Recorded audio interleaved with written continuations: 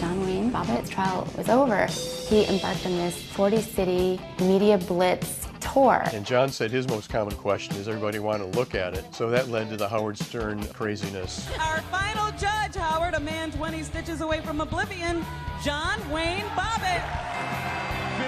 $15,000 cash if you show me your penis, and this is my final offer. You spent a lot of time on the Howard Stern show. Yeah. Did you ever mind being the butt of everyone's jokes? No, I made up a lot of my own.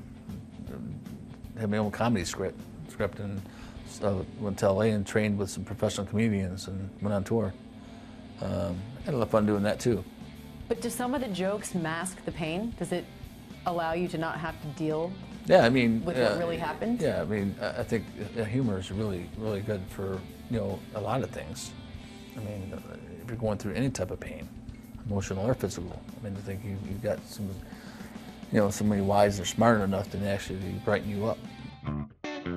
John Wayne Bobbitt is going in for a penis extension. The augmentation, yeah. Howard Stern generously offers to buy him a bigger penis, you know, to pay for penis enlargement surgery. John says yes. It's really an ugly procedure if you ever watch it. Howard had E Channel shoot it, and it was disgusting, you know, but it's educational. It worked fine for adult films, but you know, when you know after, you know, I I, did, I was just short, just a short career. I didn't want to make a career out of it. But being back in the real world, you just you know go on dates, but that's about it. I, I thought I'd have this like perfect penis, you know? Right. But uh, now it's like a pathetic penis, you know? he came by and then basically showed me it and said, Can you fix it?